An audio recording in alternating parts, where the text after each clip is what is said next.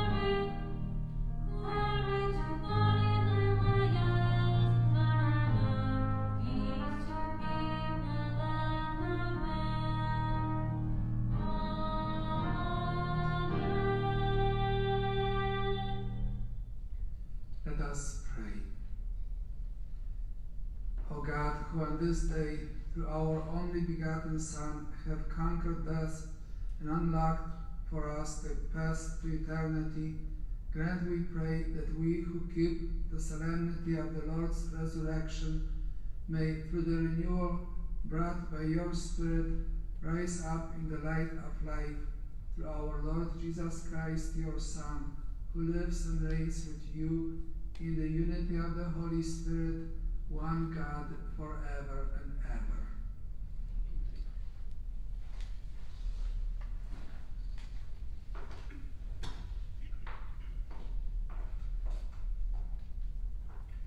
A reading from the Acts of the Apostles. Peter proceeded to speak and said, You know what has happened all over Judea, beginning in Galilee after the baptism that John preached, how God anointed Jesus of Nazareth with the Holy Spirit and power. He went about doing good and healing all those oppressed by the devil, for God was with him. We are witnesses of all that he did both in the country of the Jews and in Jerusalem. They put him to death by hanging him on a tree. This man God raised on the third day and granted that he be visible not to all the people, but to us. The witnesses chosen by God in advance, who ate and drank with him after he rose from the dead. He commissioned us to preach to the people and testify that he is the one appointed to God as judge of the living and the dead. To him all the prophets bear witness that everyone who believes in him will receive forgiveness of sins through his name. The word of the Lord.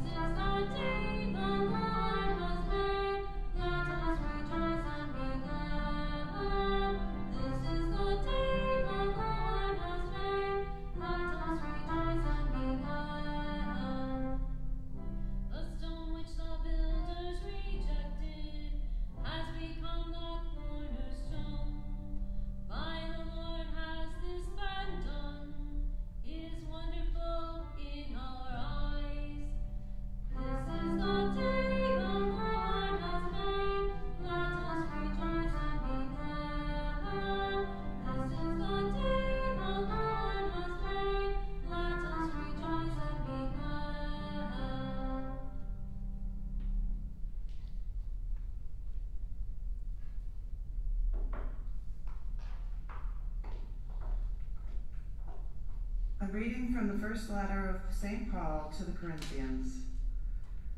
Brothers and sisters, do you not know that a little yeast leavens all the dough?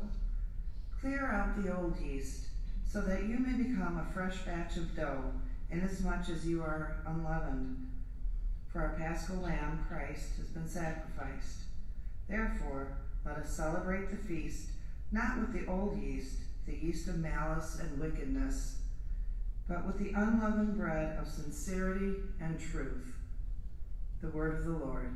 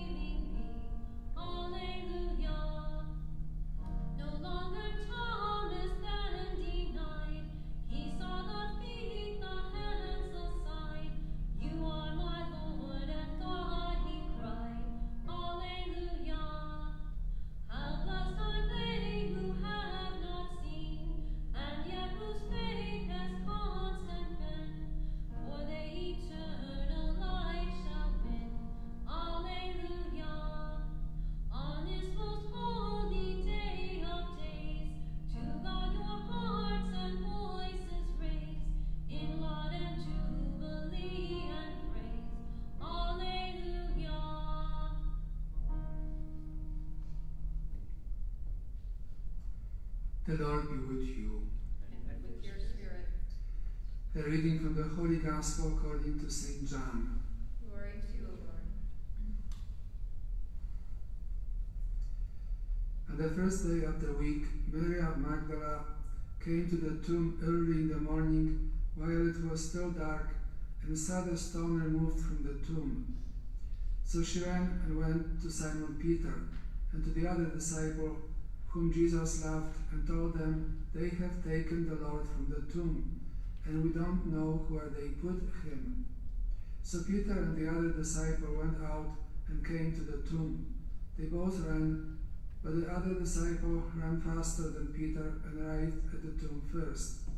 He bent down and saw the burial cloth there, but did not go in.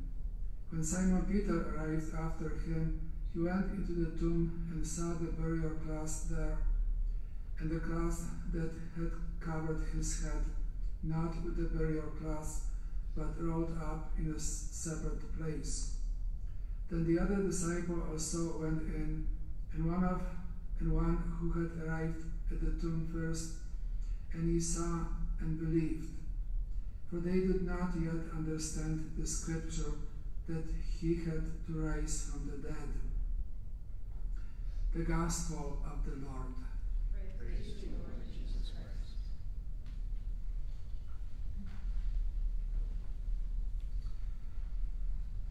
An old legend relates to the to that that a group of the apostles gathered right after the resurrection, and Peter was not there.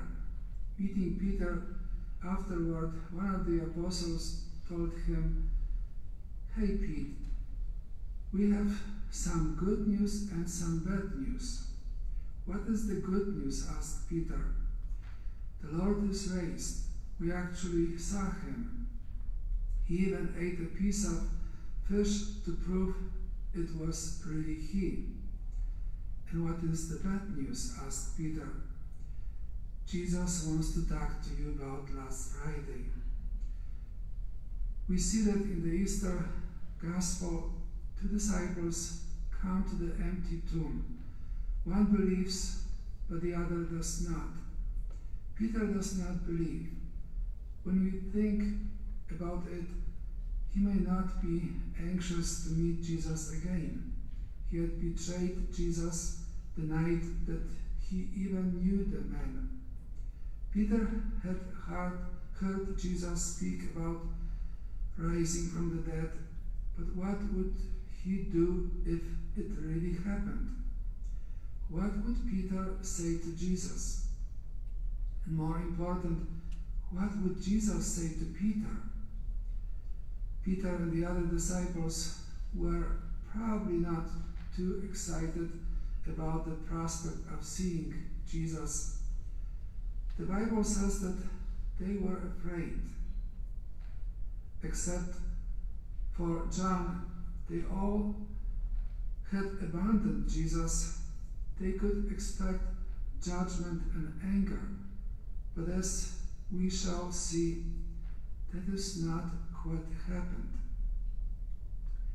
I have a small picture of Jesus crucified, and it are these words He came as light into the darkness, but those in the darkness were not able to understand. He came even though we did not know how desperately we needed Him. He came to pay the debt we owed but could not pay.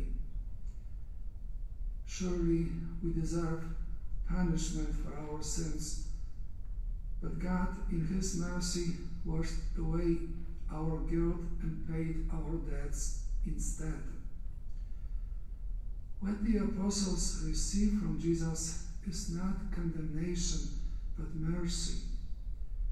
Mercy will be our first step in discovering the reason for hope. I ask you to take that step. It was Mary Magdalene, the former prostitute, who was the first person to reach the tomb that first Easter morning. Her love to Jesus Christ caused her to destroy all existing track records, faith changed the life of Mary Magdalene. Every one of us is entrusted with the message of the good news of God's love and mercy. The risen Christ has called us to make his presence real for others. How could we make his presence real for others? By leaving aside our selfishness and pride and imitating the face of Mary Magdalene. Jesus Christ is risen, the tomb is empty. Jesus Christ is our hope. The celebration of the resurrection of the Lord is the celebration of our hope, our joy, our trusting in the risen Christ. On October 22, 1978, Pope St. John Paul II began his pontifical ministry with these words Be not afraid. Be not afraid to welcome Christ and accept his power. The word St. John Paul reflected, the world St. John Paul reflected was afraid of itself and its future. The world was in chaos. To all those who were afraid, to all those who were caught up in the great loneliness of the modern world, the Holy Father said, I beg you, let Christ speak to you. He alone has the words of life, yes, eternal life. We are facing now the pandemic of coronavirus. Many people are dying. In the face of such tragedy, it is hard to understand the sacramental blackout now reigning ominously over the country and the world. No one disputes Caesar's right to issue restrictions to safeguard the common good. However, the real issue is the denial of God's role as essential in our life. Our secular culture has replaced God with Caesar as the sole power. The fastest growing religion is entertainment. It has raised the enjoyment of life to the level of a sacrament. In times, of disaster in America, public authority has always called upon God to come to the nation's aid. The coronavirus crisis is the first major disaster in America and in the world in which God has been excluded from the narrative. This is very troubling. God is no longer considered essential.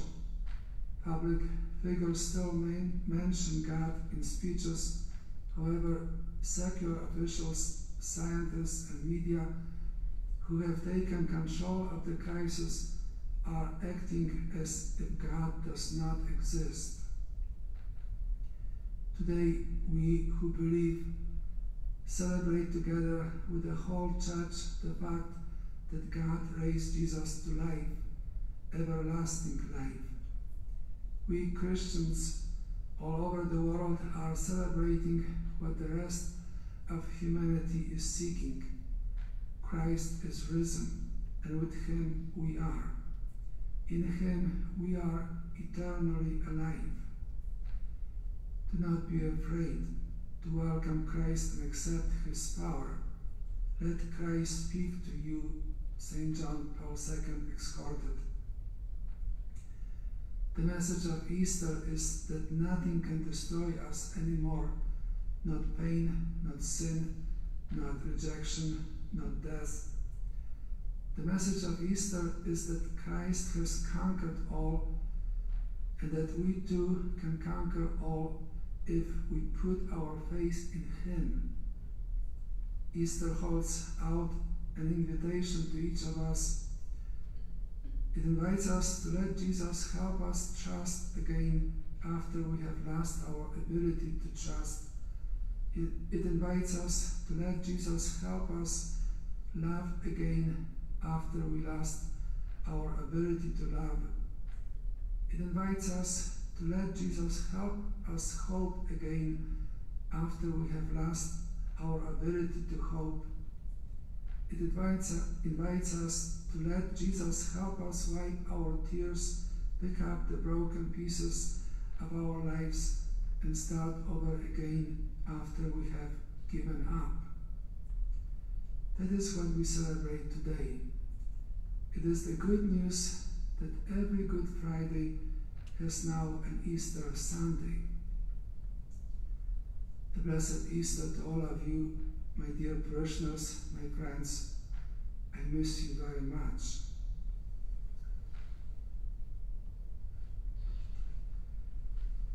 Let us proclaim our faith. I believe in God, the Father Almighty, creator of heaven and earth, and Jesus Christ, his only Son, our Lord, who was conceived by the Holy Spirit, born of the Virgin Mary, suffered in Pontius Pilate, was crucified, died, and was buried, He descended into hell. and Third day he rose rose again again, from the descending to heaven, and is seated at the right hand of God, the Father Almighty. From there he will come to judge the living and the dead. I believe in the Holy Spirit, the Holy Catholic Church, the communion of saints, the forgiveness of sins, the resurrection of the body, and life everlasting. Amen.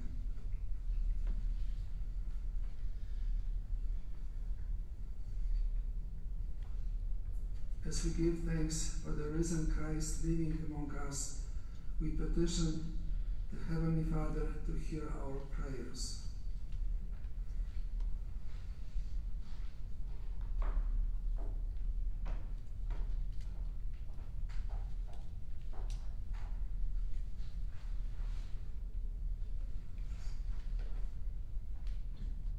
For church leaders, may they be fortified by the risen Lord's word working in them. Let us pray to the Lord. For elected leaders, may God's wisdom guide them in their work to protect the dignity and sanctity of human life from conception through natural death. Let us pray to the Lord. For those afflicted with pain or sorrow, may Jesus, the divine physician, console and comfort them. Let us pray to the Lord. For all who gather here today, may the Holy Spirit continue to increase in us the virtues of faith, hope, and love. Let us pray to the Lord. For those who have fallen asleep in the peace of Christ, may they be embraced by the risen Lord this day. Let us pray to the Lord. For the uh, intentions you hold in your heart, and for all our priests, let us pray to the Lord.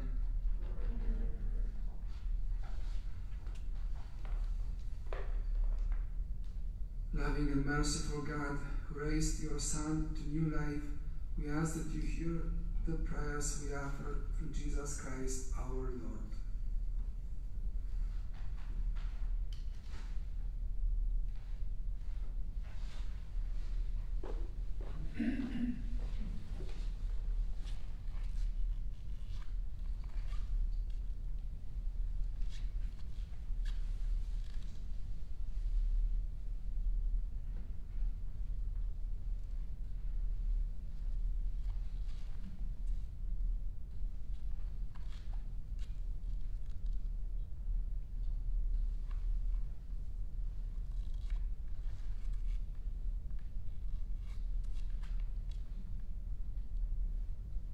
Blessed are you, Lord God of all creation. For through your goodness we have received the bread we offer you, fruit of the earth and work of human hands. It will become for us the bread of life.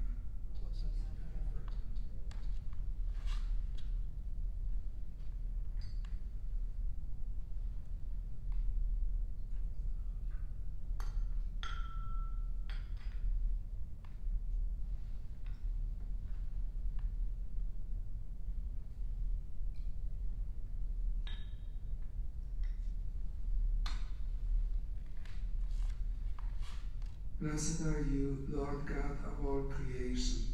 For through your goodness we have received the wine we offer you, fruit of the vine and work of human hands. It will become our spiritual drink. With humble spirit and contrite heart may we be accepted by your Lord, and may our sacrifice in your sight this day be pleasing to you, Lord God.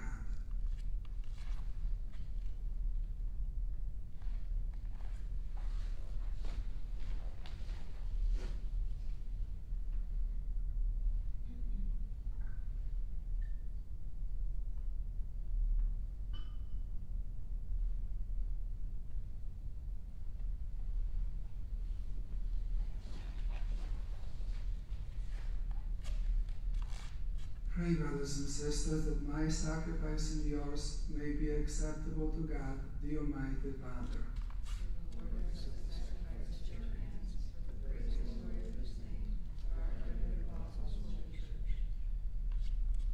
Exalted with paschal gladness, O Lord, we offer the sacrifice by which your church is wondrously reborn and nourished through Christ our Lord.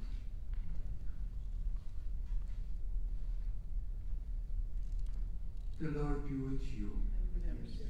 Lift up your hearts. Let us give thanks to the Lord our God. It is right. It is truly right and just, our duty and our salvation, always, at all time, to acclaim you, O Lord, but on this day, above all, to laud you yet more gloriously when Christ our Passover has been sacrificed. For he is the true Lamb who has taken away the sins of the world. By dying, he has destroyed our death, and by rising, restored our life. Therefore, overcome with paschal joy, every land, every people exalts in your praise, and even the heavenly powers with the angelic host sing together the unending hymn of your glory as they acclaim.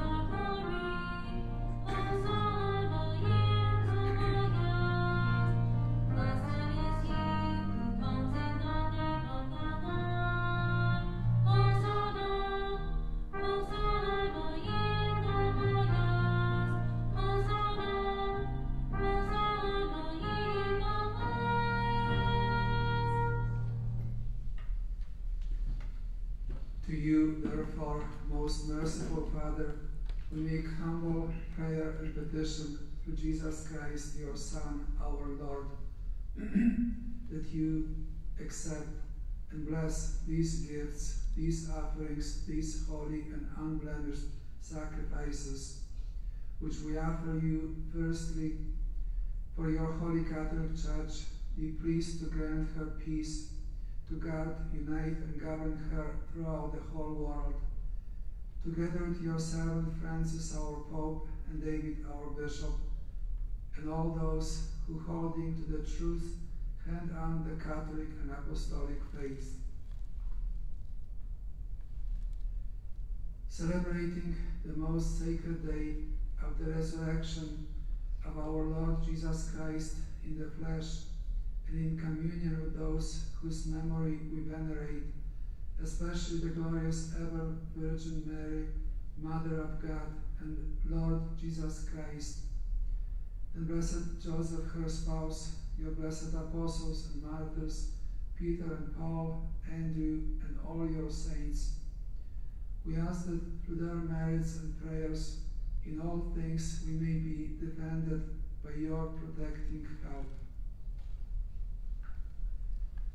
Therefore, Lord, we pray, graciously accept this oblation of our service, that of your whole family, which we make to you, also for those to whom you have been pleased to give the new birth of water and the Holy Spirit, granting them forgiveness of all their sins. Order our days in your peace, and command that we be delivered from eternal damnation and, and counted among the flock of those you have chosen. Be pleased, O God, we pray, to bless, acknowledge, and approve this offering in every respect. Make it spiritual and acceptable, so that it may become for us the body and blood of your most beloved Son, our Lord Jesus Christ. On the day before he will suffer, he took bread in his holy and venerable hands, and with, with eyes raised to heaven, to you, O God, his Almighty Father, giving you thanks, he said the blessing, broke the bread, and gave it to his disciples, saying, Take this, all of you, and eat of it, for this is my body, which will be given up for you.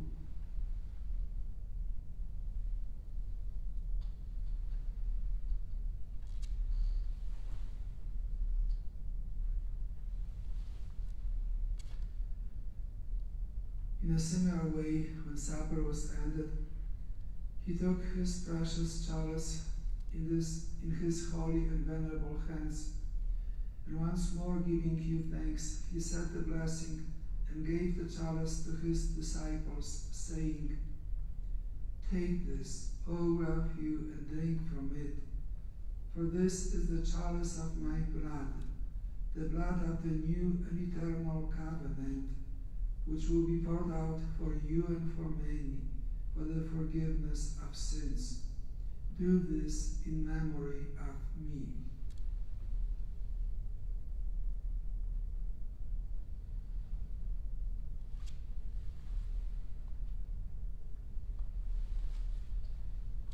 The mystery of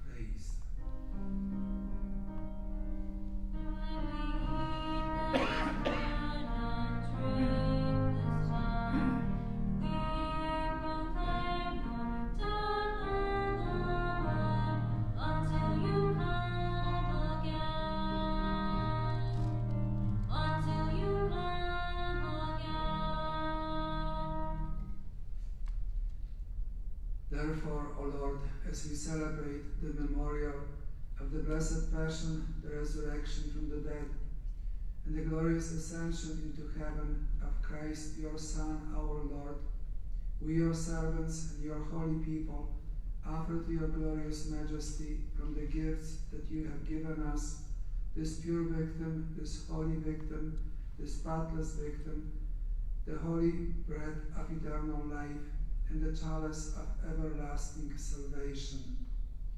Be pleased to look upon these offerings with a serene and kindly countenance, and to accept them as once you were pleased to accept the gifts of your servant Abel the just, the sacrifice of Abraham our father in faith, and the offering of your high priest Melchizedek, a holy sacrifice, a spotless victim.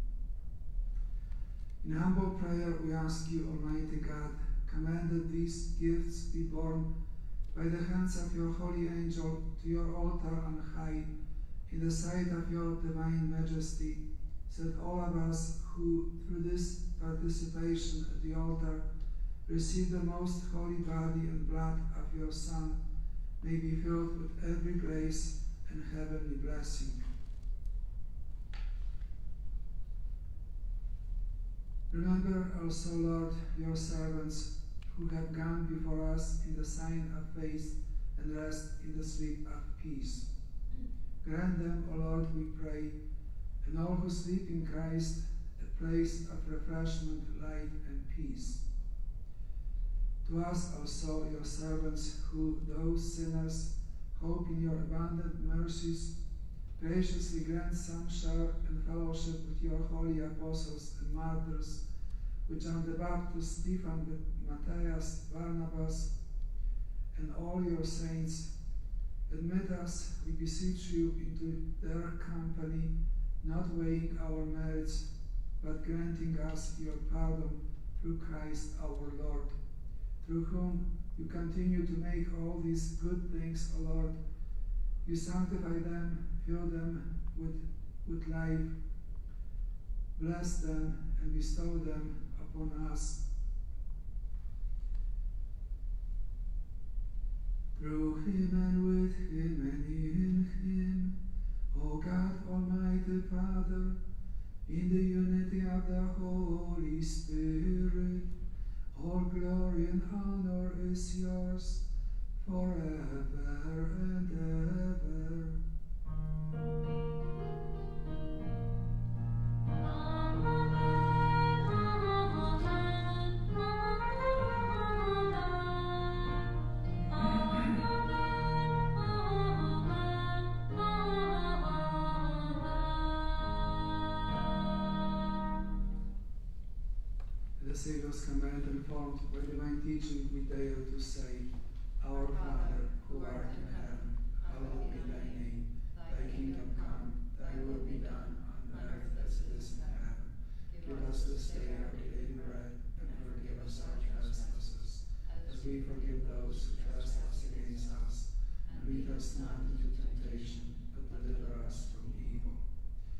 Deliver us, Lord, we pray, from every evil. Graciously grant peace in our days, that by the help of your mercy we may be always free from sin and safe from all distress as we await the blessed hope and the coming of our Savior Jesus Christ. For the kingdom, the power, and the glory are yours now and forever. Forever. Lord Jesus Christ, who said to your apostles, Peace I leave you, my peace I give you. Look not on our sins, but on the face of your church, and graciously grant her peace and unity in accordance with your will, who live and reign forever and ever. Amen. The peace of the Lord be with you always. With. Let us offer each other the sign of peace.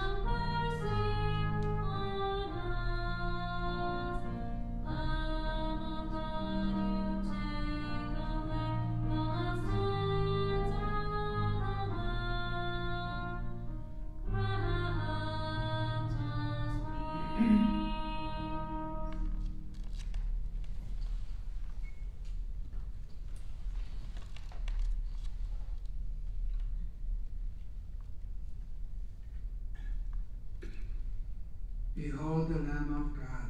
Behold him who takes away the sins of the world. Blessed are those called to the supper of the Lamb. Lord, I am not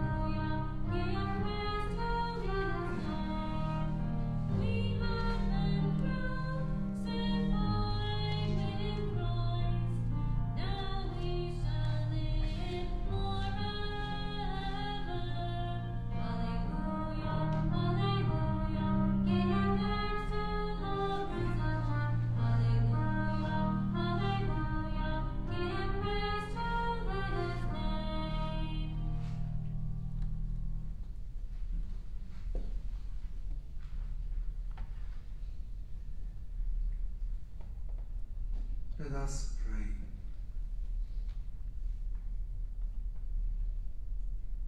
Look upon your church, O, God, with unfailing love and favor, that renewed by the paschal mysteries, she may come to the glory of the resurrection through Christ our Lord. I'd like to say thank you to Karen, our lector, Steve, the cameraman, and the musician, Nikki, David, and Jenny, for assisting me in the celebration to make this Easter more solemn and more beautiful. So thank you. I'm Not allowed to have this anymore until the coronavirus will be over.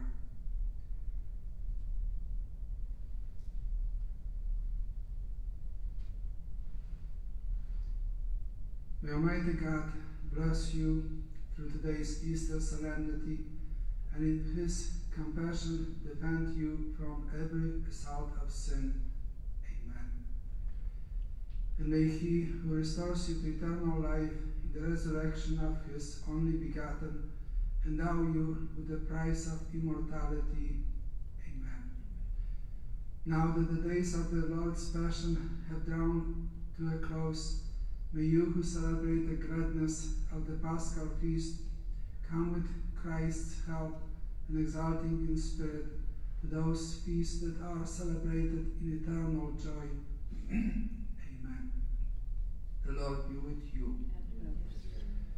And may the blessing of Almighty God, the Father, and the Son, and the Holy Spirit come down on you and remain with you forever. Go in peace, hallelujah, hallelujah.